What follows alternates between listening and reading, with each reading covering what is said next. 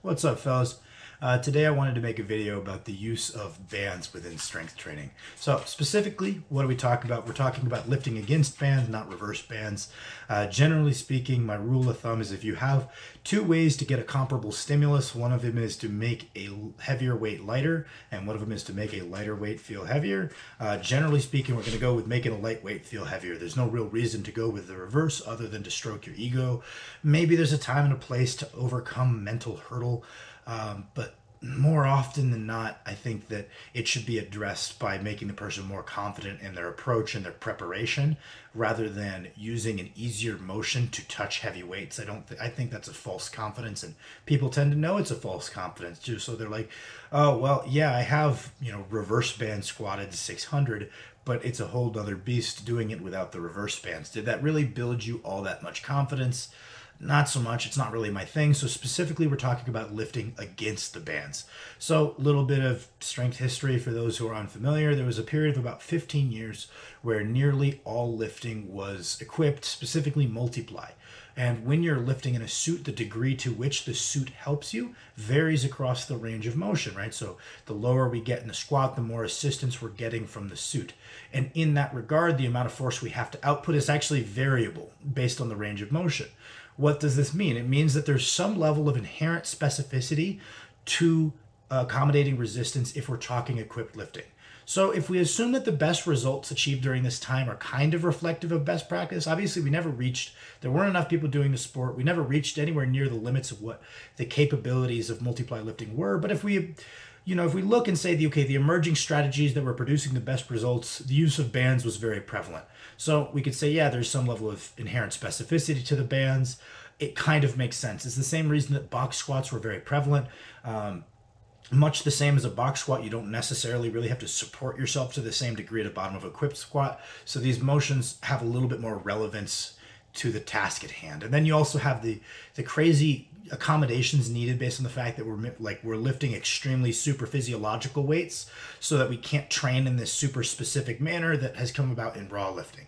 Um, basically what this led to is when lifting started to become raw um, people didn't necessarily adapt their methods and really tried to fit a round peg into a square hole and say no accommodating resistance has been what makes the strongest athletes. The best guys do accommodating resistance just as much as they train straight weights if not more.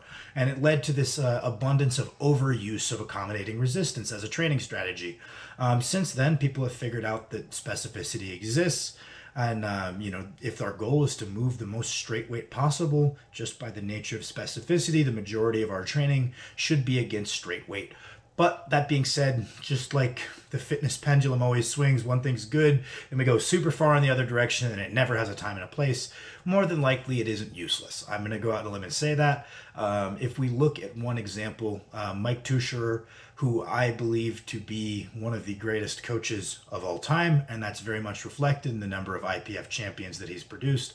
Very flexible thinker, has produced world class athletes in a variety of weight classes, all the way from light females to heavy men. So that kind of tells you he's got a very, very good understanding of the training process. His whole thing is emerging strategies and reactive programming based on we observe what works and then we continue doing it until it stops working. We take a pivot, we do exploratory blocks, we continue doing what works until it stops working, right? And um, I, I, hold him in very high regards. One of my go-to resources for learning about the cutting edge of strength training, and um, he's no he's not opposed to the use of accommodating resistance. If you follow some of his athletes many of them will run a training cycle where they're squatting or deadlifting or benching against chains or using bands. Just the other day he posted um, I have no idea what the guy's name is, but this Swedish 184 IPF world champion from this year, um, he was saying that they found observationally that when they're running one straight weight session and then one deadlift session of sumo against bands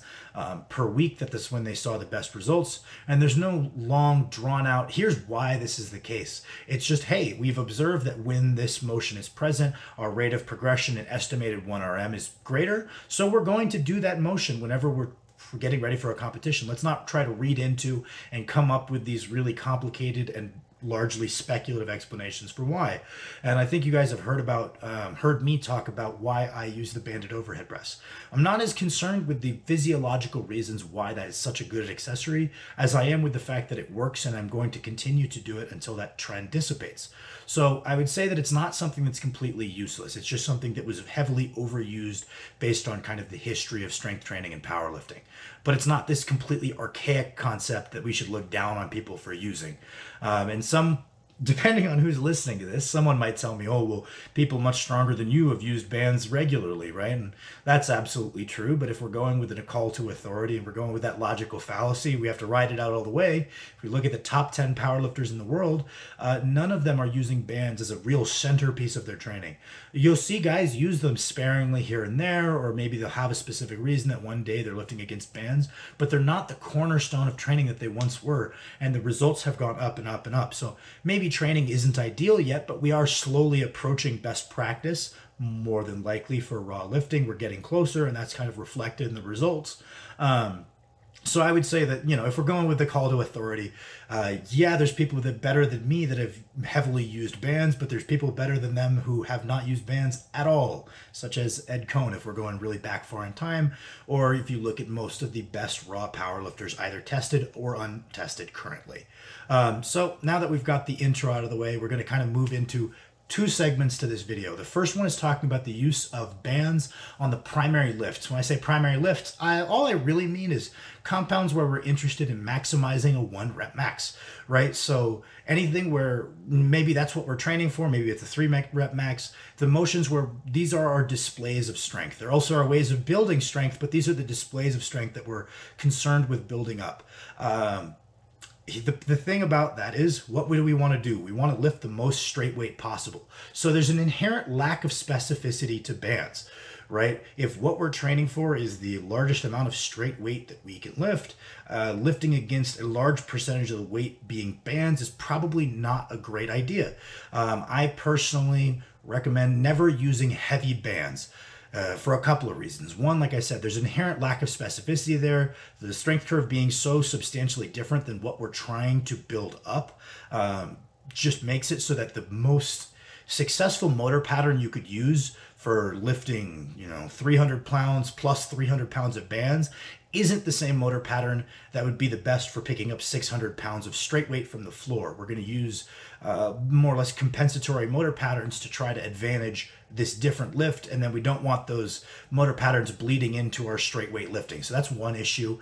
Um, and then another big issue, is, like aside from the skill component, is that it removes the uh, stability largely from the bar. If anyone who's lifted against really heavy bands probably knows what I'm talking about because there's some level of forward and back pressure from the bands as well.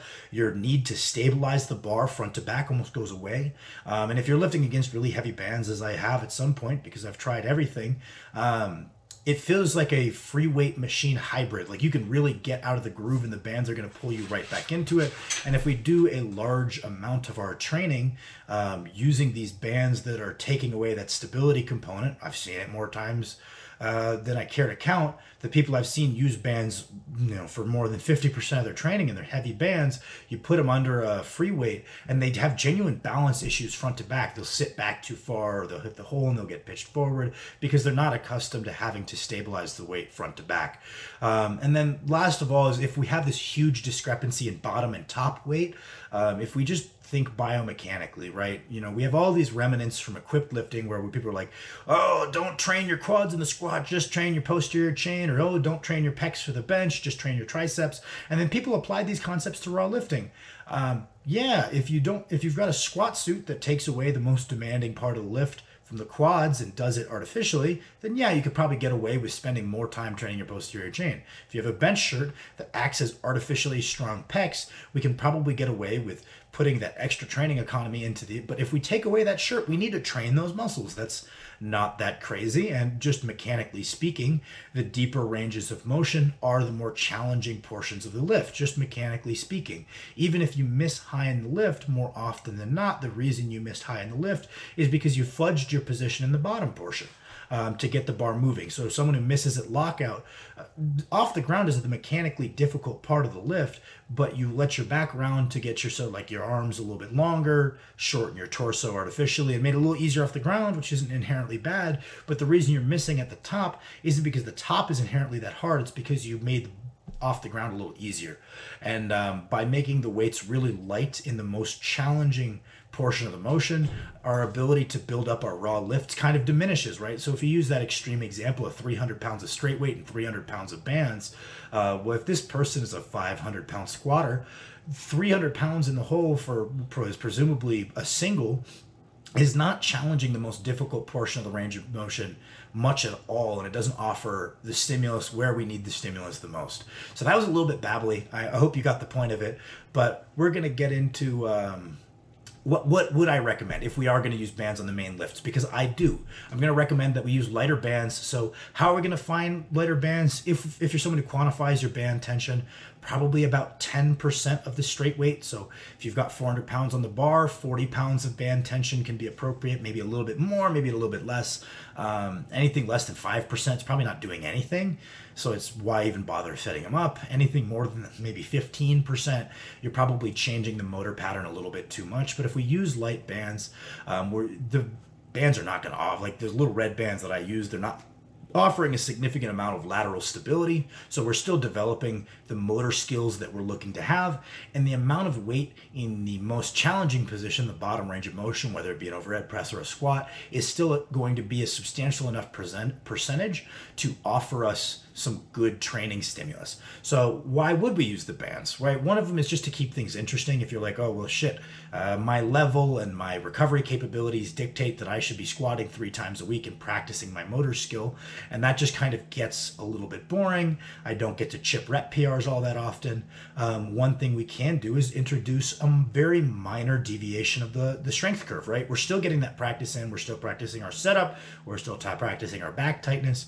We're still practicing the same cadence and we're still hitting the hole with a, a, relevant percentage for each portion of a training cycle, right? So we're getting the benefits and it could be just a novelty, right, on some level. Um, another one, you know, you could argue that it's not that important, is maybe we get some technical benefit out of it. Just knowing that the weight is getting heavier as you come up forces you to try to maintain good, strong positions rather than doing what we talked about earlier, which is compromising your positions right from the get go. So if you know that by the lockout of the bench, uh, that's going to weigh 10% more, you're probably going to be forced to keep better back tightness and not just press out of your retraction. Um, kind of the same thing with an overhead press. If you know at the top it's about to be 10% more, you're probably going to fight to maintain your upright posture rather than lay back into a position where it's going to be really tough to deal um, with that added 10% weight. So some people can get some technical benefit from that rising weight as we come through the range of motion. And then the final thing that I like about it is you can shift the muscular emphasis of a lift without getting rid of the necessarily the the potency of the skill practice. So the most concrete example I have for you guys of this benefit is uh, if we're bench pressing and we, for whatever reason, come to a conclusion that our triceps specifically could probably be a bit stronger. Um, conventional wisdom tells us that we should probably do um, a bench press with a grip closer than our regular grip. The problem is that we don't get to practice our back tightness in the same way with a closer closer grip than we do with our regular grip the alternative to this rather than just lengthening the range of motion you know bringing the grip in we could keep the same grip and alter the resistance curve a little bit to challenge the triceps using some light bands at about 10% this way we get to practice our true competition style bench an additional time each week but we also achieve our goal of shifting the emphasis towards the triceps to some degree the nice part is, as long as that band tension is truly light to moderate, we're still getting the quality pec training that we should be. We're still getting the technique, and it's just a small deviation in stimulus. It's different enough to do something, but it's not so different that we're practicing a completely different skill. So I'd say that's where the real value comes in. Um, even on my squats, I'm I don't know what the band tension is, and I should probably measure it, but I'd imagine it comes out to be about 10%, maybe 15% of my squats, which is probably a little bit much, but um, that's my general rule of thumb for how I'm going to use them if I were to implement them in my or someone I coach's training program. And then we're going to get to the last part of this video, which is bands on non-main lifts, so lifts that we're not interested in displaying our strength on. Um, that um, 1RM is inherently meaningless. So hypertrophy focused work, bodybuilding work, whatever you want to call it. This is kind of where bands get kind of interesting to me, right? There is no inherent specificity to these motions. That makes things very interesting, right? Because the goal is the stimulus. The goal is not the weight on the exercise. So we have a lot more flexibility so long as we're achieving the general stimulus that we're looking for. Um, basically, you know, we can match the resistance and the strength curve up. Um, so basically, a perfect example would be a hack squat. The higher we get up in a range of motion, if you did a hop top half partial, you could lift more weight. If you did a top quarter partial, you could lift more weight. So the higher up in the range of motion we are, the more force we're capable of outputting. You could imagine this with a leg press, you could imagine this with a chest press, whatever it might be. The higher up in the range of motion we are, the more force we could potentially output. And by using bands, we can match up the resistance curve to the strength curve. So we're kind of challenging the full range of motion, not just the bottommost position. Um, is this that much better? No, we don't really have any peer-reviewed evidence to suggest that matching up the strength curve with the resistance curve makes it so much more of a potent stimulus. So as long as we're doing the right number of sets and taking them to the right like proximity to failure, and we're training through a full range of motion, um, regardless of kind of how that strength curve is oriented, it's probably going to be similar. But a, you might enjoy it more, and people push themselves harder on things they enjoy more. B, it can feel a lot easier on the joints, using the example of a hack squat. Um, C if you feel it's driving good results for you, it very well might be, especially if you've been training for long enough to kind of tell those things. You're like, hey, I get better results from this deviation of the motion where I alter it. Um, just kind of using the practical examples, the banded hack squat is going to be my go to example for this. Most hack squats, unless you have a really nice one, uh, will kind of bang up your knees, even if you're executing them well with good control, full range of motion, and well selected weight. They can still bang up your knees. If you attach a medium to heavy reverse band and we alter that strength curve. So in our weakest position, it's a little lighter. In our strongest position, it's a little heavier. Often uh, that like deleterious effect on the knees will go away completely. It just becomes a better exercise. Um, we can think of a ton of different examples of, you know, machines where we can alter that strength curve, and it probably just makes it a little. It's like the same exercise, but a little bit better, maybe one percent better. If you've got the bands, you've got the money, you keep them in your bag. It's not a big deal. It's just a nice little um, improvement to some of your bodybuilding exercises. I hope I say this right. Um, but my boy Bald Omni Man, I hope I said that right because I like that guy a lot. He's very nice. Um, he specifically asked why I was doing banded deficit RDLs, right? This is a bodybuilding motion for me, right? Um, to some degree, you could say it's a variation of the deadlift, but the motor pattern I find is different enough that I would maybe classify it as almost more of just a general hinging movement. Um, so I have a little bit more flexibility. I can rotate with time as different stimuli I kind of peter out, and I can't beat the books anymore. I'll make a small deviation, whether it be moving to a deficit, doing my RDLs actually to a block, so a little bit smaller range of motion. And recently I've been messing around with also just fiddling with the strength curve. Um, generally speaking, when I do a deficit RDL, I feel as though my hamstrings are being well, like taxed quite well, my lower back is being taxed quite well. Um, but I never found that I was pushing my glutes anywhere near their capacity. So I was like, oh, well, I guess I could toss some bands down and I could maybe challenge the range of motion across, I could challenge the full range of motion motion a little bit more, including the upper end of the range of motion, um, the part that's the most demanding on the glutes, and maybe it would just be a better general posterior chain exercise. And so far, so good. Um, it's nothing magical, hasn't done anything crazy, but it's just a small deviation from the exercise that I found made it a little bit more well rounded for general muscle building purposes. Um, I think that would be another example is like an RDL maybe isn't a machine, but depending on how we're fitting it into our program, that could kind of fit the the bill for more of a hypertrophy focused exercise or more of a strength focused exercise. And in my case, because it's a hypertrophy focused exercise, I do have that flexibility uh, to fiddle with it a, a little bit. Thankfully, um, when I was trying this, I already had come to my 10% band uh, tension conclusion. So I knew to make sure that the straight weight was still a weight that could challenge me in the bottom ranges of motion. Otherwise, I don't think this would be giving me very much correlation to my deadlift at all. But because it's um, it's not that much less than what I would do on a regular deficit RDL, uh, it ends up working out okay for me. Um, last note for these. I, I, hope i've sold you on the guys on the idea that this is something that you can play around with in your own training. Um, the big thing is buy your own bands. The ones at the gym get broken down really quickly. They get switched out. Even if your gym is super solid there's always buying new ones buy your own bands and make sure that the band tension and the band rigging is the same every time. If we are just basically customizing these exercises, uh, they need to be consistent. That way, when we beat the books and we apply progressive overload, we know it's true progressive overload. If we're using a different band rigging every constantly, it's it's kind of come into that conjugate dilemma of okay, am I achieving consistent progressive overload? I don't know.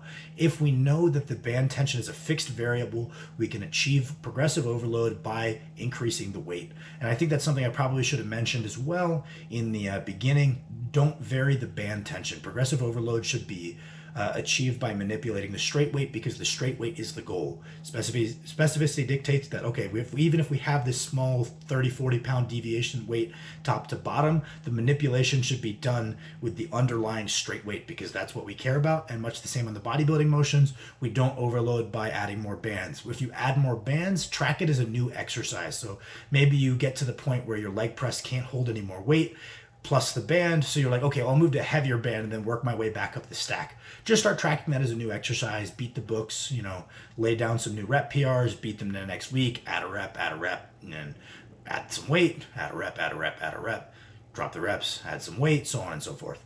Um, but that would be my main tip is just make sure that the band tension is uh, very consistent if we're going to be utilizing these either for our main lifts or our bodybuilding work.